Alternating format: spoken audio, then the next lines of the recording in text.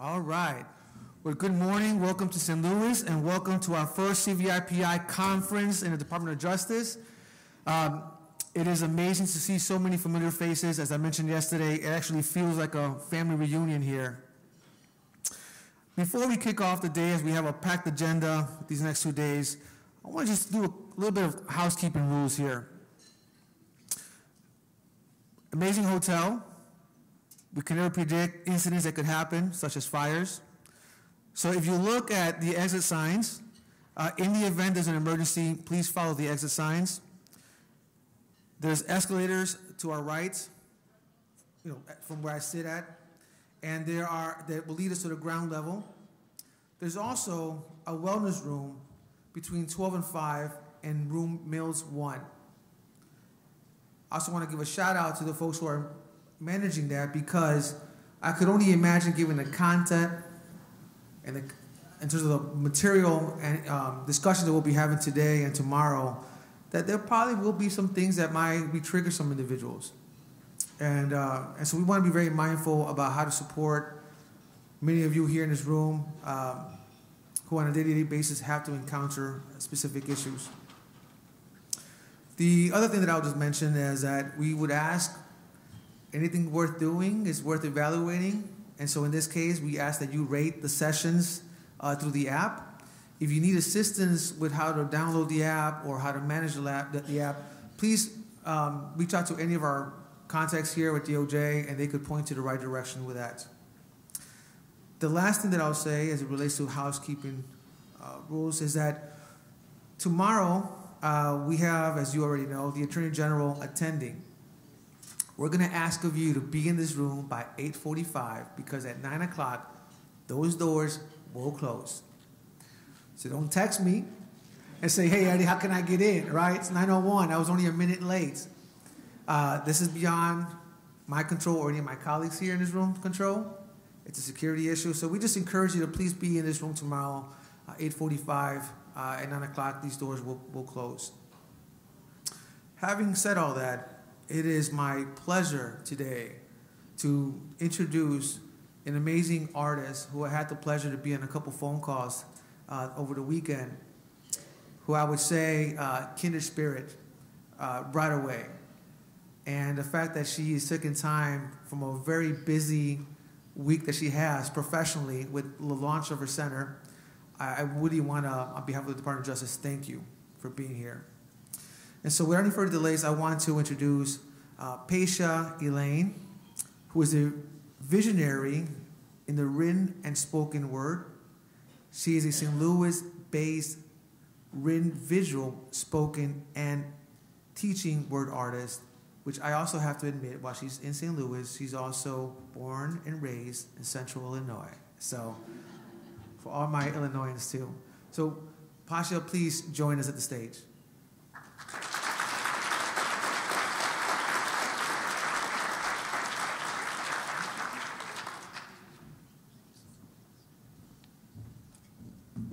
How we feeling this morning? Nah, how we feeling this morning? In the tradition of my culture and of my community, I will ask for permission from my, from my elders to speak. Thank you.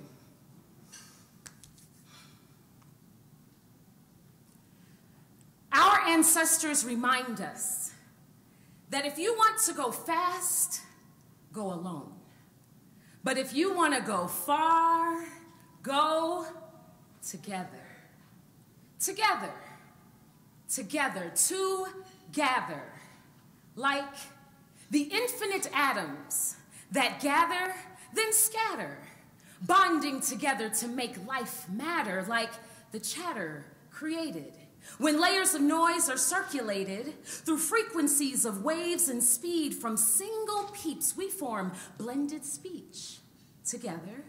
See, a vessel is only special because of the joined emptiness within, and an army is only alarming because of the ranks of enlisted men. A fist is only clenched by the movement of fingers and wrist.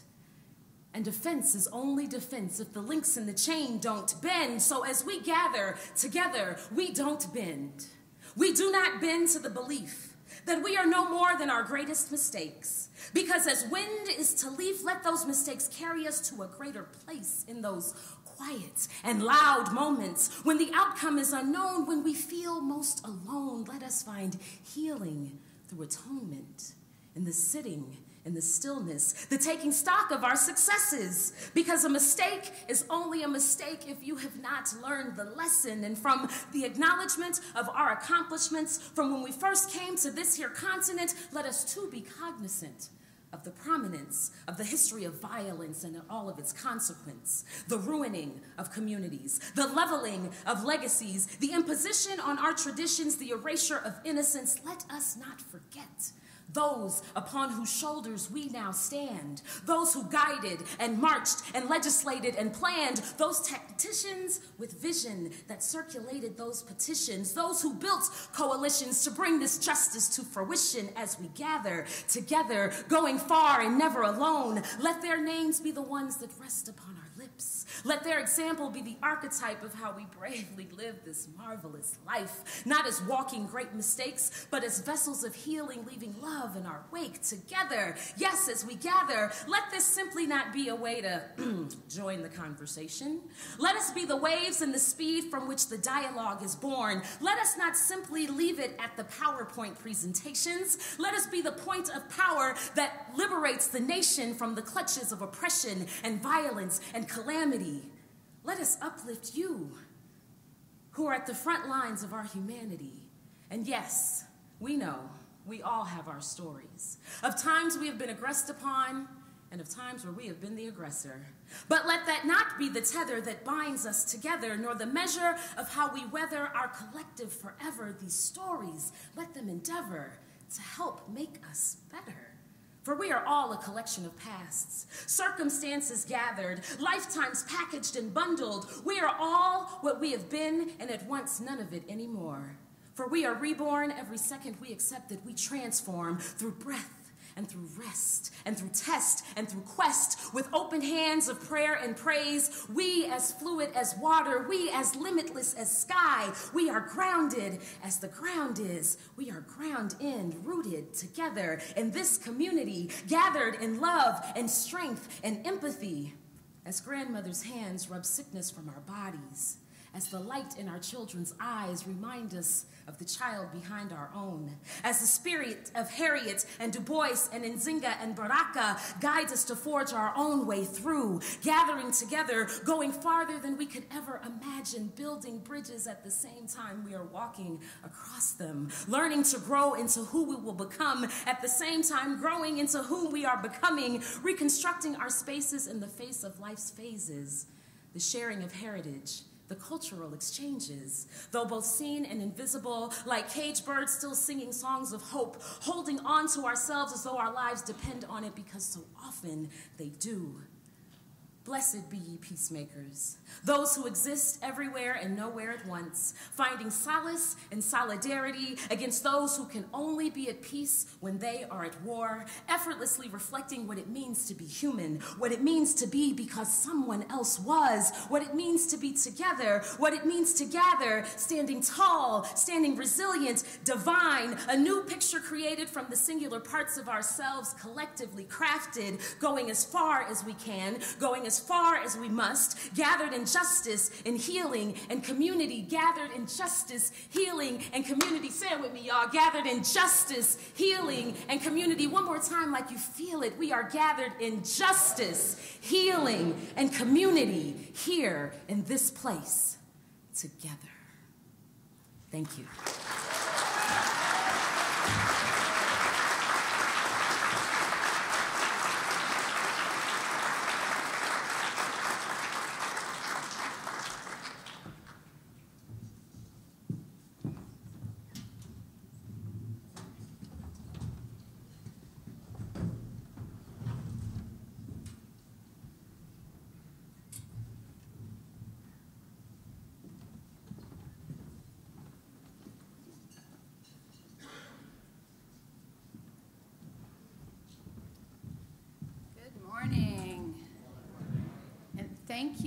Paisha. That was absolutely breathtaking. That was a beautiful original expression of what brings us all to this work and to this conference. And you have set the tone for what we have to do over the next two days. so, very, very, very grateful.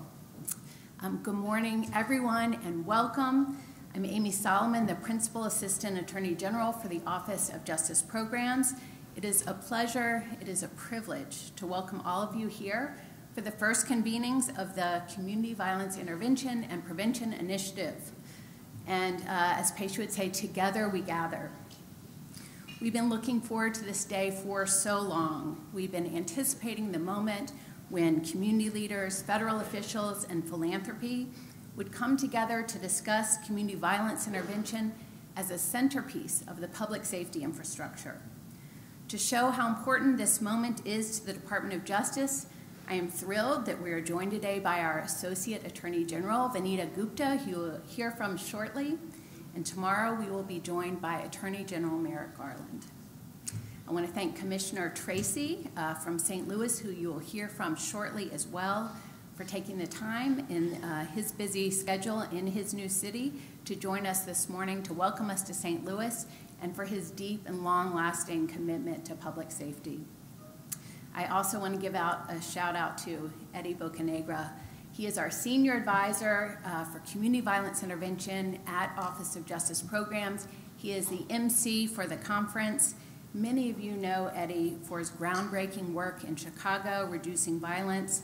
We are so fortunate to benefit from his expertise and his experience and his deep commitment to this work. I am grateful for Eddie's leadership with this initiative and generally and really just grateful to call him colleague and friend. I'm also so pleased to be joined here today by my close colleagues and the leadership of the Office of Justice of Programs. Uh, here we've got, and if you don't mind standing up, Karhlton Moore, the Director of the Bureau of Justice Assistance. You want, you can hold your applause for the whole group. It's incredible. We've got Liz Ryan, the administrator for the Office of Juvenile Justice and Delinquency and Prevention. We've got Chris Rose, the director for the Office for Victims of Crime. We've got Dr. Nancy La Vigne, the director of the National Institute of Justice, and Dr. Alex Piquero, the director of the Bureau of Justice Statistics. It, now you can applaud. It is really amazing, actually, for all of these directors to be here for these two days, and it shows how important this work is to all of us. Uh, you will hear from them, you will get to know them over the next two days, as well as the amazing staff we have from across all of these offices who have put together this conference. Finally, a very big thanks to all of you uh, for the work that you do every day and for being with here this week. We know that you're needed in your home communities, but we're so grateful that you're here to meet with other CVI leaders, to network, to share ideas and energy. You're also going to hear more from us about our commitment to you and what we can do specifically to help and support your work and your success over the next months and years. So I'm going to step back just a moment uh, and tell you that in May of 2021, the Department of Justice released our comprehensive strategy for reducing violent crime, and it highlighted investing in community violence intervention as a key pillar. CVI is also a central component of the bipartisan Safer Communities Act, as well as the President's Safer America Plan. But CVI for us is not just a talking point, it is a must have, a critical set of strategies and models that we know can help stop violence before it happens. The department's commitment in this area is a testament to the work that you all have been doing for years and in many cases for decades. Often without the benefit of robust funding, of the shine of the spotlight, or of dedicated federal support. As CVI takes its place in the national conversation, there are a lot of questions about what CVI is and what CVI isn't. We know CVI takes many forms, and it looks different in every jurisdiction. But ultimately, our frame is about an expansion of community capacity to address the local public safety challenges, and specifically to prevent gun violence. Our goal is to invest in community infrastructure and expand the role of community partners as a complement to law enforcement. Our CVI initiative rests on four principles. First, we're trying to reach community members who are at the highest risk of engaging in violence. And we know that these are uh, it's a really hard to reach population. And we're trying to uh, provide, help you provide a wide array of supports and services that will help open up and expand opportunities for them. Secondly, we're being clear and intentional to support CVI as a community driven, community centered, and equity focused effort. We're supporting organizations and collaborators with credibility in your communities, and we know that this is going to look different in different areas. We expect these investments to be in places like hospitals and schools and CBOs and locally based community needed organizations and spaces. Third, we're working to integrate CVI in the larger public health and public safety ecosystem. So, our goal here is to build community resilience and social capital so that these strategies remain a permanent part of the landscape. It also means supporting those of you who are doing this work every day, addressing the trauma that you face, and taking steps to protect your well being over the long haul. Finally, we want to build our base of evidence of what works to save lives. And to ensure that the sustainability of CVI programs, we want to help build your capacity to collect and to use performance data. The Office of Justice Programs is investing unprecedented, dedicated resources in support of these principles and CVI strategies. In fact, thanks to the 22 budget and the Bipartisan Safer Communities Act, and to your leadership in this space, uh, this September, we were able to award $100 million in grant funding to support CVI programs and research across the country. These are, these are programs that you are leading, and it's incredible. This $100 million investment is here in this room. Uh, this is the largest targeted federal investment in these strategies in history and I hope that it faithfully supports and expands the kind of programs that you have been developing and designing and leading over many years. In this first tranche of awards, there are 47 site based grants to community based nonprofits and city led collaboratives, both to seed new efforts and to expand new ones. We're also supporting three intermediary organizations the Local Initiative Support Corporation, or LISC, Metropolitan Family Services, and the Latino Coalition for Community Leadership.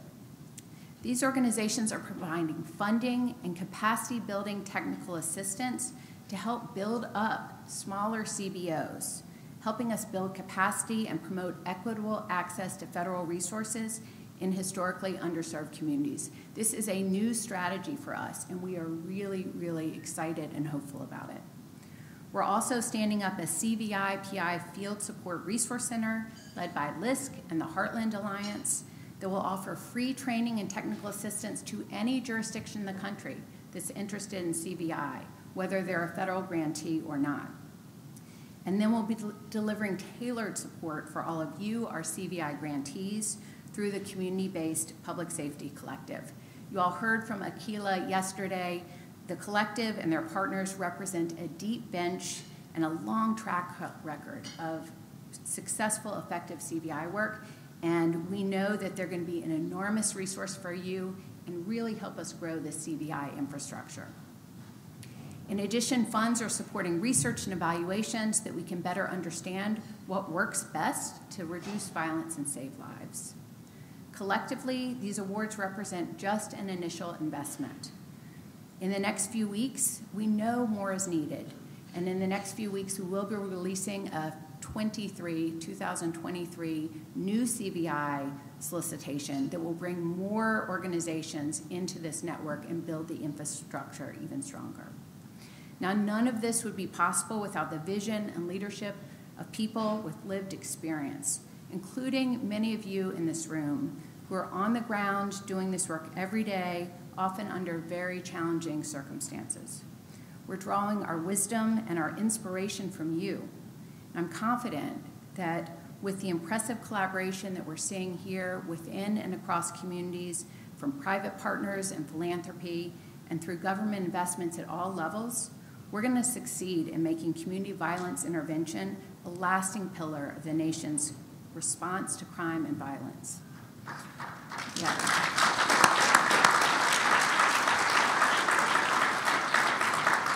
I am so encouraged and I'm so very hopeful that the work that we're doing together will make a profound and lasting difference.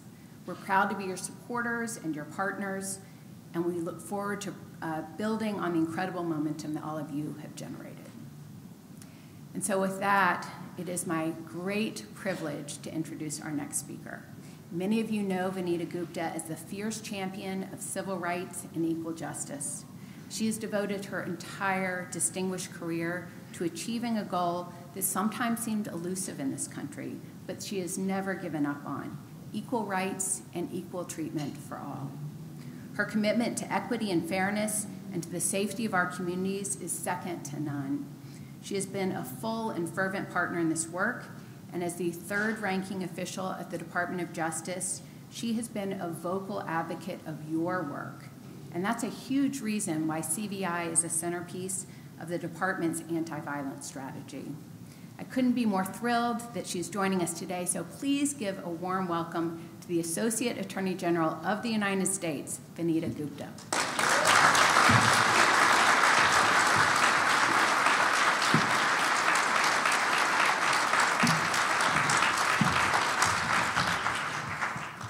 Thank you for those kind words and important words, Amy, but more importantly, for your outstanding leadership. It is a privilege to be with all of you here in St. Louis. Look at this room, it is incredible. Uh, thank you for joining. Thank you for gathering here this morning. I want to thank you, Paisha, for your powerful words. Uh, they're the perfect way to open up this meeting. Captivating, beautiful, and inspiring. Thank you. I am so pleased to be here. You don't know. This work has been so important to the Justice Department, and we know how many of you have been toiling away for years and for decades, as Amy has said. I am pleased to be in this room with such an array of people working so hard in your communities. I'm pleased to be here with Commissioner Tracy. I know who is just weeks into his position, uh, but who brings such tremendous experience and expertise and connectivity to the communities he's worked in. And I am really pleased that he is and grateful for your commitment to strengthening relationships between the St. Louis Metropolitan Police Department and the communities it serves. Eddie, it is wonderful to join you too. I remain grateful for your wisdom and experience that you bring to the Justice Department, challenging us every day with the community violence work that you have done for so long. Your leadership in Chicago, but now for the country, is so incredibly important. And I am thankful to all of you community violence intervention specialists, law enforcement, public health professionals, service providers, local leaders, and researchers. You have come together from cities across the country to learn from one another, to renew your dedication to the health and safety of your communities, and to send a powerful message that we can prevent violence in America through collaboration, intervention, and a collective commitment to change. For too long, our society has looked to law enforcement alone to solve the problem of violence in our communities. We ask police to resolve deep, complex social challenges, primarily with the blunt instruments of arrest and incarceration. And every day across the country, police officers are doing everything they can with the tools that they have. But this approach in isolation has not been enough to curb violence in our communities. That is why we included community based violence prevention and intervention programs as one of the four foundational principles of the Justice Department's comprehensive strategy for reducing violent crime in May 2021. And it is one of the reasons Congress enacted the Bipartisan Safer Communities Act. The Justice Department announced yesterday $231 million in funding for, from the Act for states to put towards crisis intervention, including extreme risk protection order programs that we know work to keep guns out of the hands of those who pose a threat to themselves or others. The Act also provided $50 million in funding for CVI programs, bringing our total investment right now to 100 million.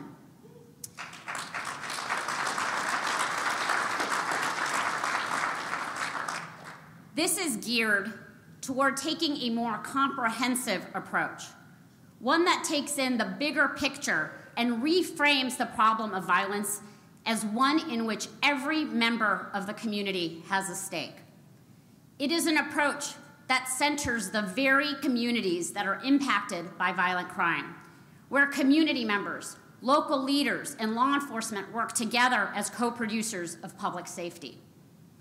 It is both a strategy and a mindset, and it has the potential to transform our vision of safe and healthy communities. It begins with the premise that violence is not inevitable, it is preventable. When we reject violence as a fixture in our landscape, we see clearly that no person is indispensable.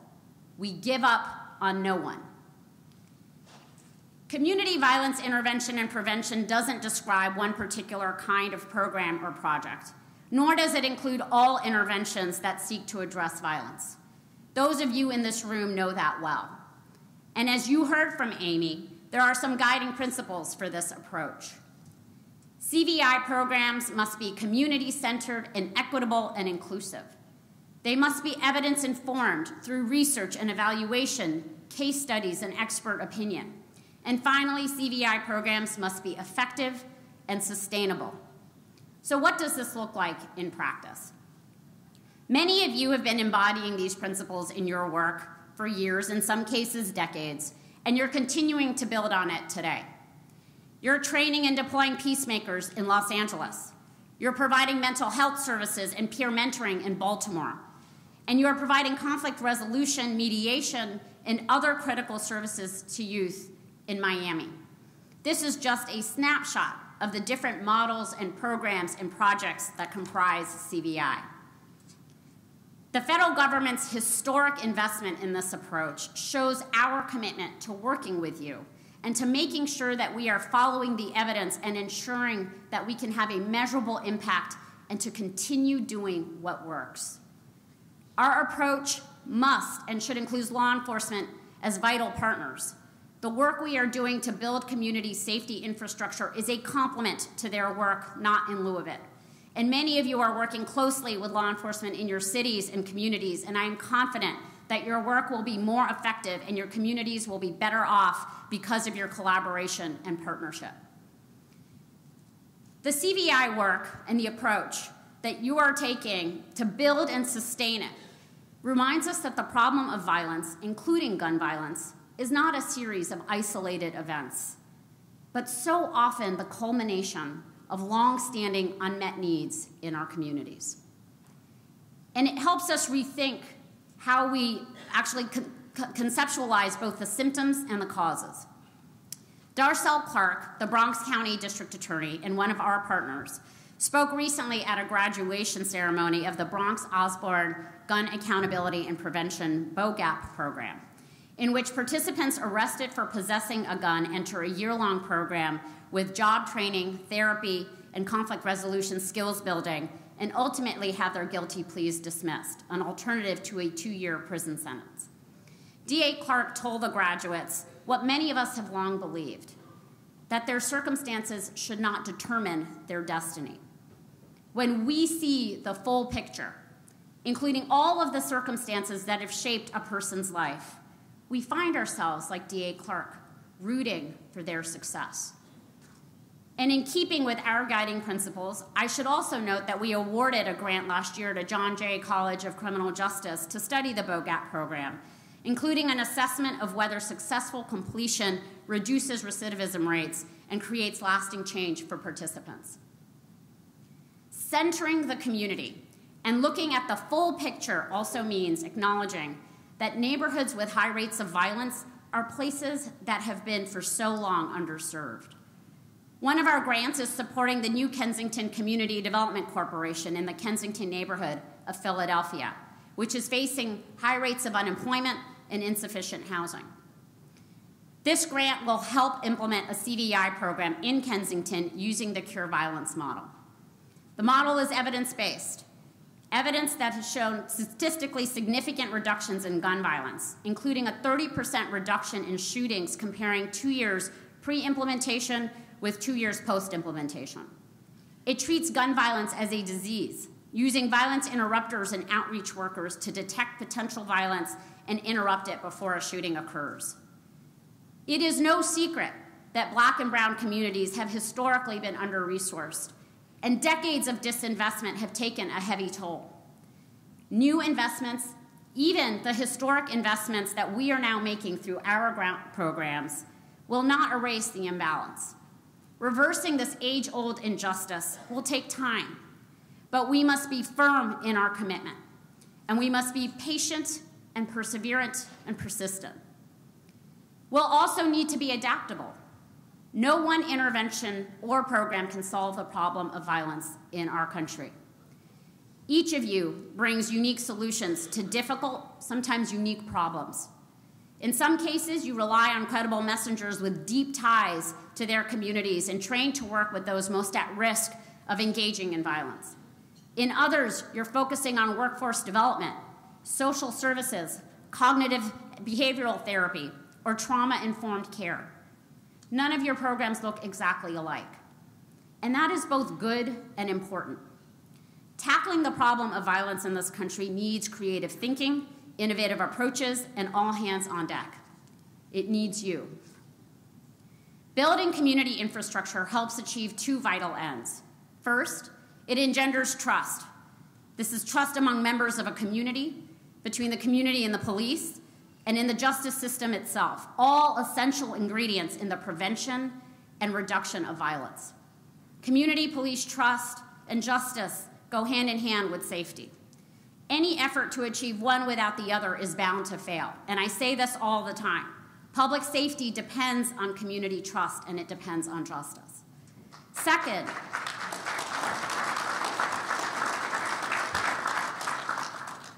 second, Grounding public safety in the community is the surest way to a fair and equitable system of justice. Community violence exposes long-standing inequities that we cannot ignore.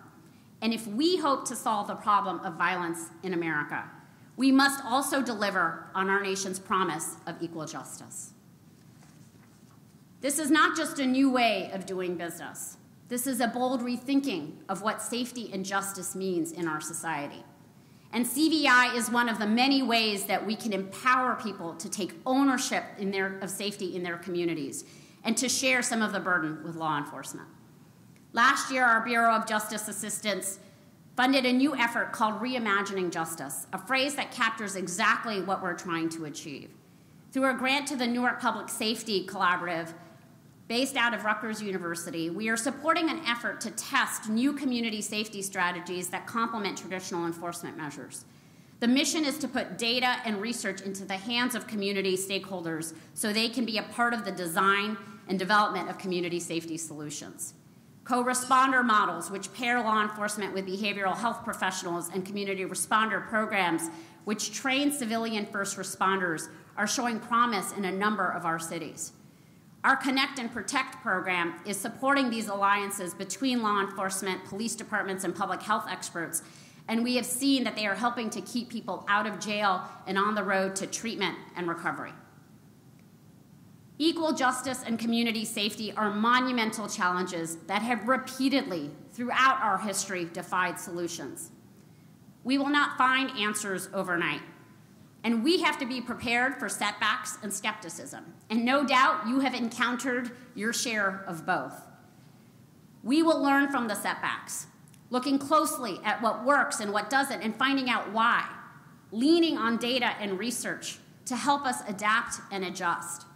And we'll have to guard against skeptics who say that crime and violence are matters best left only to the police, at the expense of recognizing the crucial role community members play in co creating safety. We know, and you have seen firsthand, that community based approaches to these problems work and will continue to work. That is why one of the central tenets must be the importance and power of rigorous research and evaluation.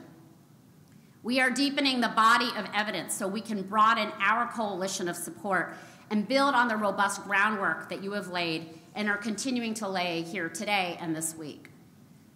What you are doing in your communities is remarkable. You are showing people that there are better options than violence and retaliation. You are letting them know that they are more than the trauma that they have seen and suffered. And you are finding a way to bring hope and opportunity into places that have seen too little of either. I am proud that the Justice Department is supporting you in this essential work, work that is making a difference in the lives that you touch and the communities that you serve. And we know that you need to take care of yourselves too as you do this work. I am grateful for all that you do. Thank you for your leadership, for your inspiration, and for your time today. Stay hopeful, my friends.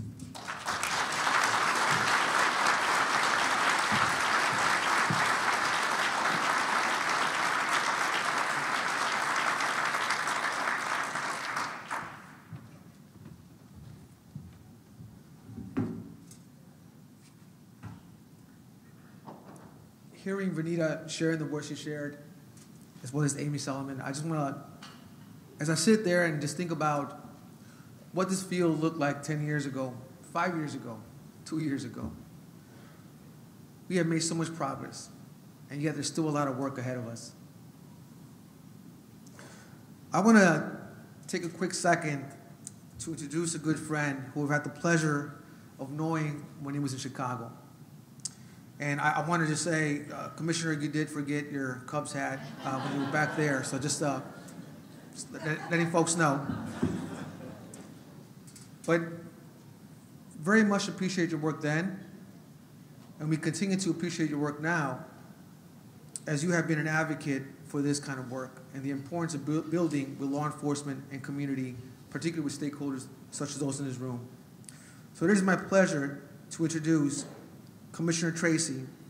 Chief Tracy has more than 30 years of law enforcement experience with the New York, Chicago Police Department, and now with St. Louis.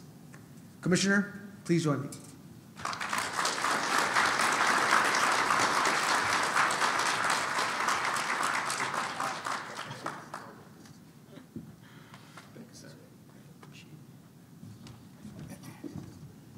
We are in St. Louis, right? if I put this hat on, they'll run me out of town.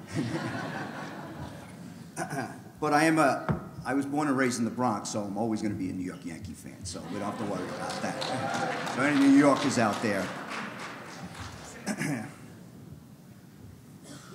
but I will tell you one thing, Eddie. Uh, although I came from New York to Chicago, it finally took a New Yorker to get to Chicago for you to win a World Series when I was there.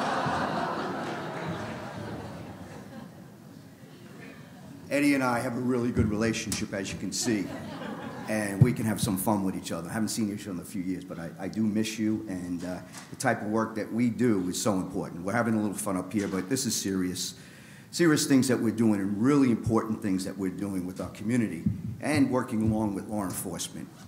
Uh, I started about I started on January 9th. It's a little over 30 days that I've been here now in St. Louis as the new police commissioner and I'm starting to work with new technology. I usually work off paper with my notes, but um, my new public information people said I got to get used to reading off a tablet.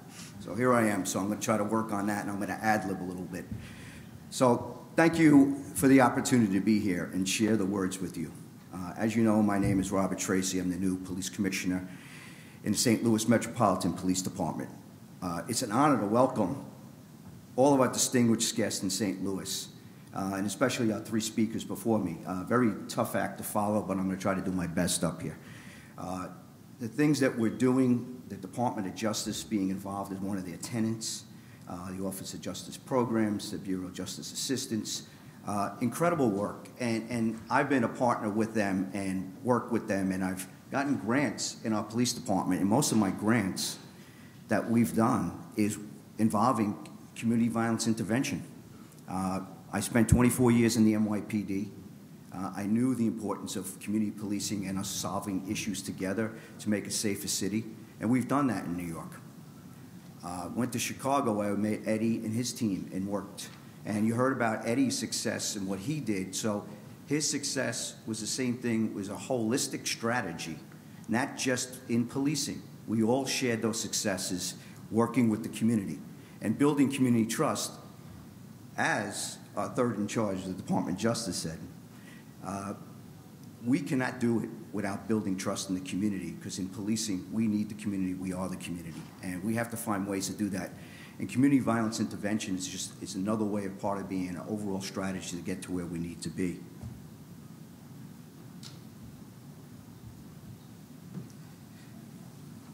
I'd also like to recognize the significant role that community violence intervention plays in what we do.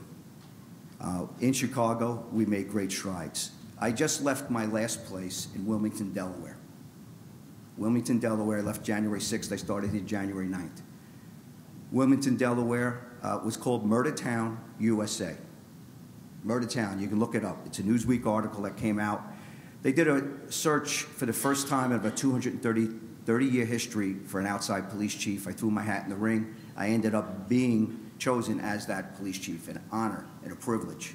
And immediately, my work was to work on internal strategies, community engagement, CompStat, but community violence intervention. And that work that we did and built up, uh, it was painful on some things, there were steps back, but we built the trust. We went through the pandemic, we went through the George Floyd murder, we went through all those things where there was pain in the community, but we were able to overcome a lot of those things and bring that to a safer city. And when I left on January 6th, when I say this, we had a 58% reduction in murders, a 50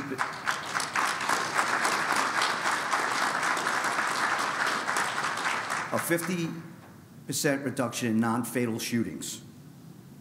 Also, about a 35% reduction in overall crime, and even quality of life crimes went down overall. That didn't just happen with the police department. That happened because we worked together.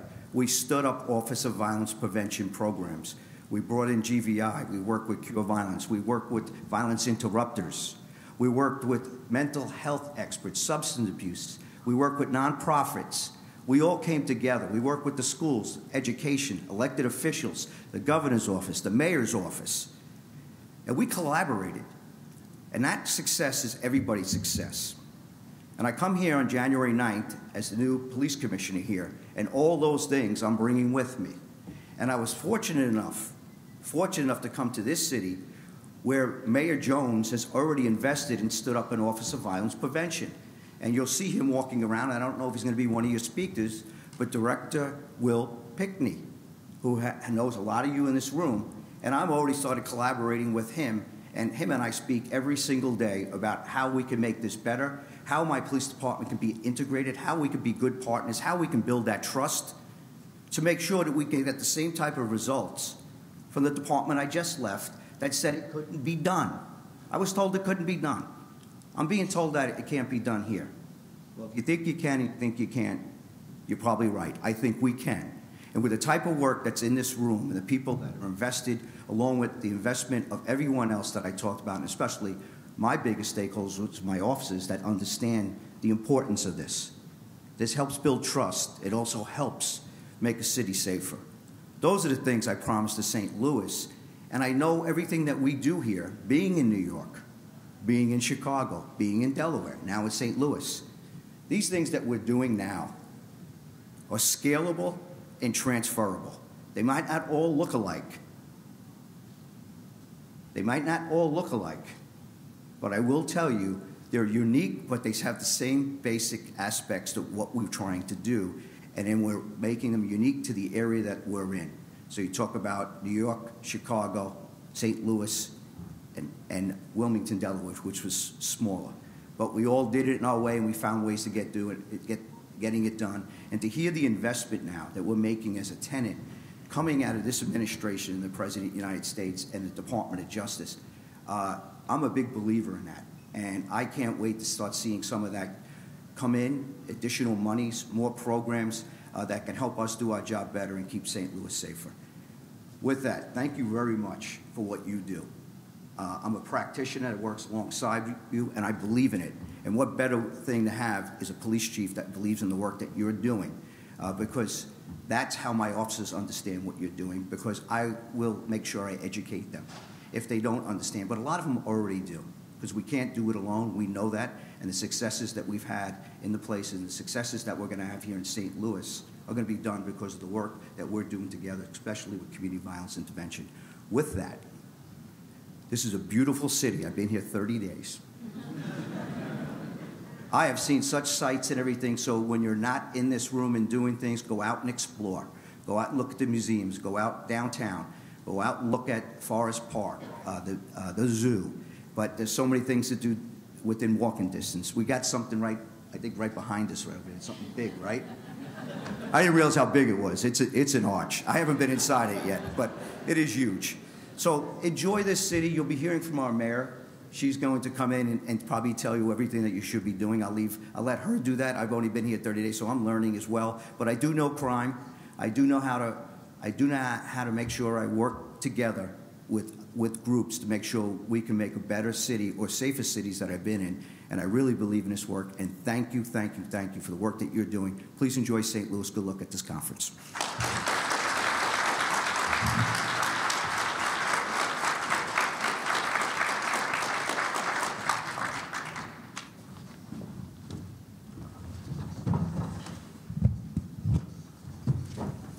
Thank you, Commissioner, for all your due diligence and your work in this, in this field. I'd like to uh, welcome the audience here and to acknowledge a couple of things as we're setting up the stage. If you've been doing this work, if you've been doing street outreach, mentoring, mental health, hospital based, housing, research, a number of different things that I'm missing. If you've been doing this for over 25 years, please stand up.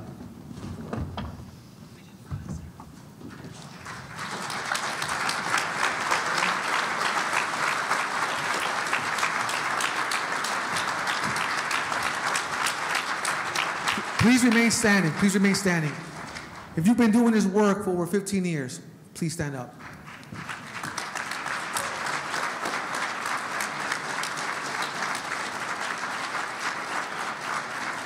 If you've been doing this work for 10 years, please stand up.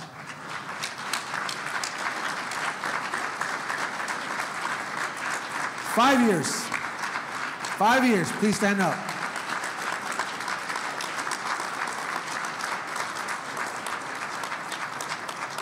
And if you're new to this, which I met a few yesterday, please stand up.